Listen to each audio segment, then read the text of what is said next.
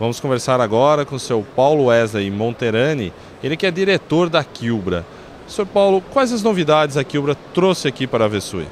Olha, no segmento de postura, nós agora temos um, um mix de plástico, né, que são os divisórios é, em arame galvanizado com o mix de, o mix de plástico. Né? Trouxemos também um lançamento para a criação de codornas, que era uma necessidade é, do mercado então nós fizemos esse lançamento aqui na feira, onde houve uma grande aceitação para o mercado. O mercado de codornas, como ele está? Vem crescendo bastante no Brasil? Olha, o sistema é, vem crescendo ano a ano.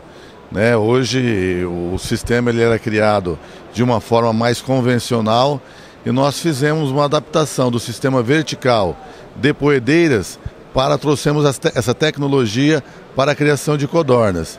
E hoje nós temos galpões no Brasil, galpões de 100 mil aves em codornas, com uma grande aceitação e é um mercado que vem crescendo bastante. Especificamente em relação agora à participação da Quilbra na Vessu, e como foi a feira? O que, que o senhor achou do evento? Olha, o evento para nós esse ano surpreendeu. Nós tivemos uma grande presença dos nossos clientes, clientes é, fora do Brasil também, e superou as nossas expectativas.